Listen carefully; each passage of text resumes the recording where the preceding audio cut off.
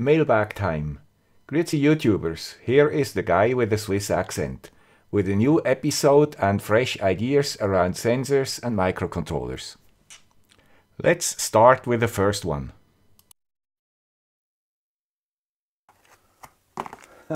Huge package, not a lot of content. It is 10 pieces of TPS 3839G. 33. 33 is probably something with 3.3 volts. Maybe this is a power regulator. Let's check. These TPS 383X are ultra low power supply voltage monitors. And how are they used or what is the purpose of a supply voltage monitor? We connect them to the power of the microprocessor and to the reset pin of the microprocessor. And if the voltage here, for example, is less than uh, around uh, 3 volt, for example, then the microprocessor is reset. Now these chips can be used for microprocessors themselves to reduce the probability of brownouts and get stability during shutdown and, um, and startup.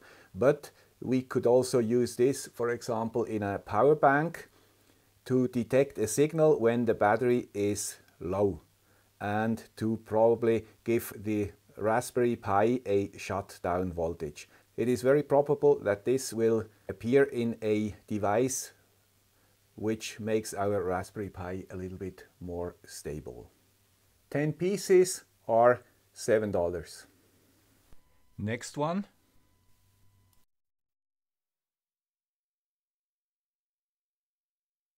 Nice buttons with a built-in LED. You get them in different voltages from 3 volt, 5 volt, 6 volt up to 220 volt and you get them in several colors. Also locking or momentary. I bought a few of them. These are 5 volt, including this one here.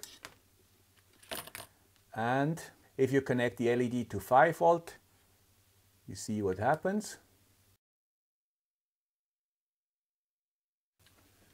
And here the yellow one.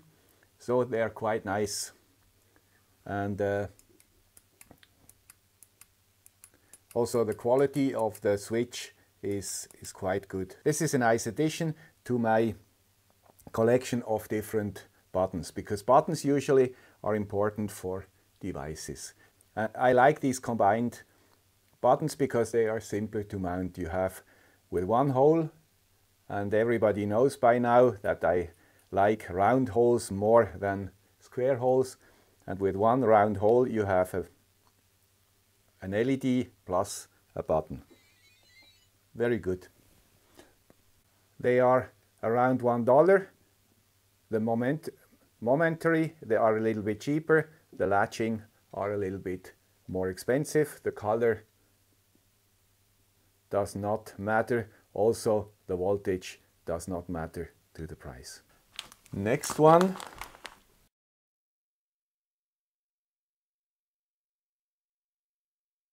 This is a 24 gigahertz radar chip and it should be stronger than the ones I already have. And uh, but I'm not sure what it will be what it will detect. I have to try it out once but not in but not during the mailbag. This will take quite some time to check this one out. Next one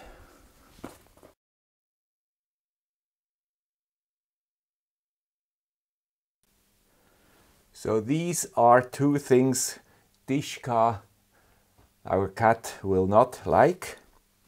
They are two readers for animal tags and this is an animal tag that I can test the devices without bothering the cat. This is probably more for cows or so, for the ears of cows or something. And this is an expensive one and this is a cheap one and uh, obviously this has a bigger loop than this one, but they work both work on 134 kilohertz. So far I was not able to, to read these RFIDs. So we will check and I will show you if I can read the chips of my cat because then I could automate something around her. These are chips which can be implanted and I will also use these for my tests. Next one. Large chips.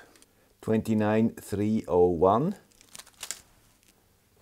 This is a low dropout regulator, 3 ampere. It has a dropout voltage of only 450 milliwatt at, fu at full load, so I expect it is smaller um, when you do not have full load, and it and it works up to 20 volt. This would be a candidate for our QC3 power source.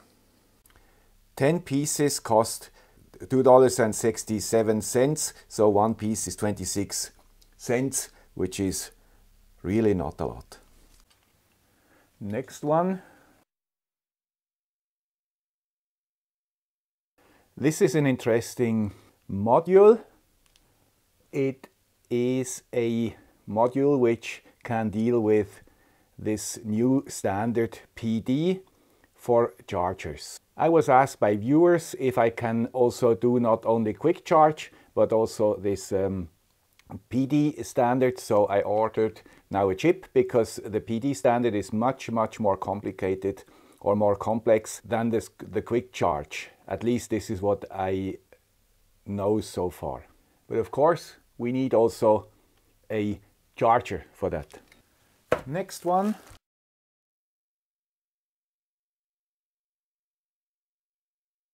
It is a Dodo Cool.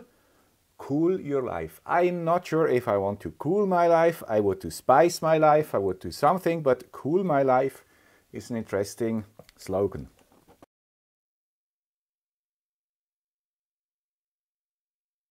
So this Dodo Cool is a charger and it is a PD charger and it has a USB-C adapter.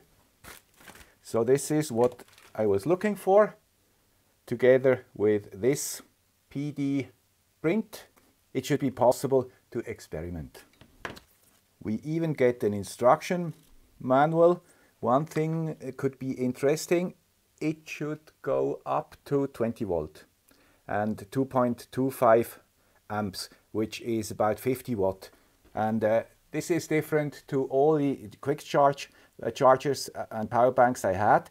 They usually went up to 12 volt and this PD stuff goes up to 20 volt.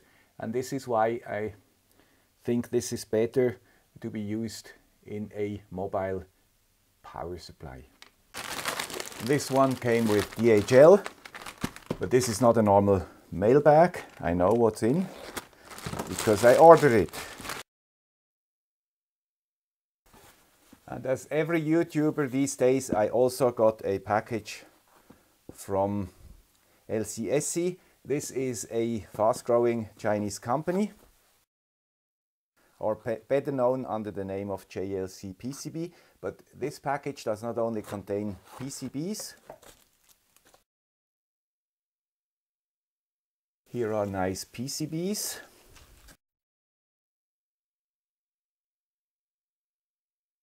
So these are huge PCBs and they are drivers from the summer project. So one of the members of the summer project created the drivers for the tank. Here an ESP32 board and here an H-bridge with, with, four MOSFETs. And the interesting thing on this uh, LCSC company is they not only do manufacture um, PCBs, they also are a distributor like DigiKey or so, and uh, I think their plan is really to become a competitor of DigiKey for parts. The interesting thing for us makers is that we get all we need for our project in one package, at the same time and with only one's shipping cost. If LCSC does a good job with avoiding fake chips, they will get more project orders from me, I think. Next one. This one does not come from China. This one comes from the United States.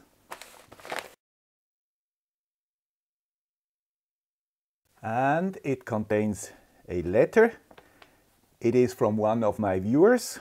It is a Wi-Fi stepper project and Andrew wrote me that he wants to do a Kickstarter and sent me one of those for review. It has an ESP32 on board, which is already good for me. And of course we can connect a stepper motor here. And it is made by Good Robotics, which is a nice name. Maybe I just hook it up and look what it does. Now I connected the board to one of the NEMA stepper motors, a NEMA 17 stepper motor. It's a bipolar one with four wires, A and B, plus and minus, and I connected it to around 24 volts. You can connect this Wi-Fi stepper up to 85 volt, which is quite a lot, and with this barrel uh, connector here up to 50 volts. Now I do not know exactly all the details. You can have a look at it if you want in the link in the description. This ESP creates a web page where we can do some things. And this web page actually is very, very well made, I think. You see it here. It has a quick start guide, it has settings, documentation, and even troubleshooting. So the issues, the possible cause and the possible solution, very well made, I think. But I just start the quick start. We see here it measures the voltage, status is idle, and we select speed control now. I can say speed 30 RPM, forward, and here you can uh, select all the different accelerations, deaccelerations, and so on and so on. And this uh, max speed here is uh, way too high. My NEMA motor only goes a little bit over 300. Now it's 400. If we go up, we see it stops. So I do not know exactly who will use this board. It's not cheap you can have a look at uh, the Kickstarter when it comes up. But uh, at least from the quality point of view here, uh, especially the software is really very, very nicely done. So good luck, Andrew. I hope this mailbag was useful or at least interesting for you. If true, then consider supporting the channel. You find the links in the description. Thank you. Bye.